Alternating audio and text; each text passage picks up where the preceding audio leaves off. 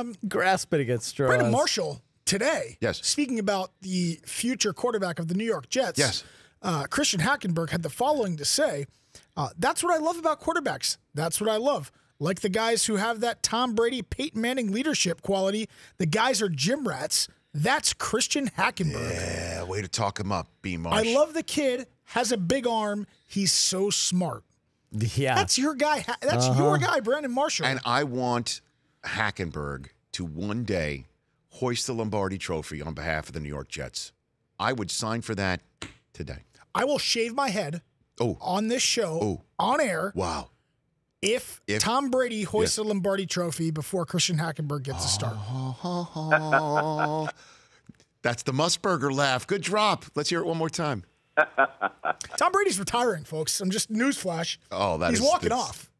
He's That out. is- He's done. dude. That take, that take. There's no temperature Oh for that take. I'm a little flabbergasted here. He was down 28 to 3 there's in no the Super Bowl. for this. Needed every miracle to win.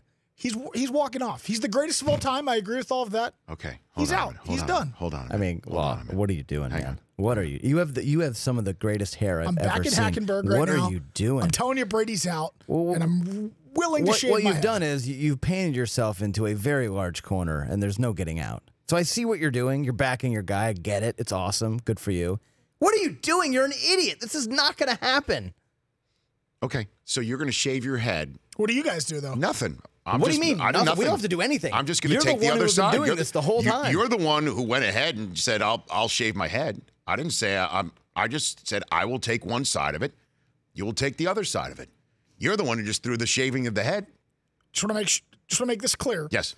Hackenberg will start a game, not necessarily for the Jets, because he's a franchise quarterback that may be traded this year I will go ahead. for another team. I will go ahead and grant you all 32 teams. Oh wow. okay, I'm in. I'm in. I'm all in. Brady wins uh, one for the thumb before Hackenberg starts at game Well, Rich, anywhere. Rich, technically, in anything called the National Football Brady's League. going on the other hand now. He just won the thumb one. Well, I'm just saying one for the other thumb. Did I not say other? I Yeah, didn't say other. other- other Oh, my yeah. bad. I'm sorry. I left Yeah, out other. okay. Oh, baby.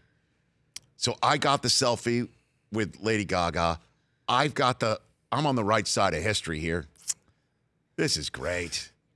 844-204 Rich. Your phone calls, and when we come back, the latest from the parade.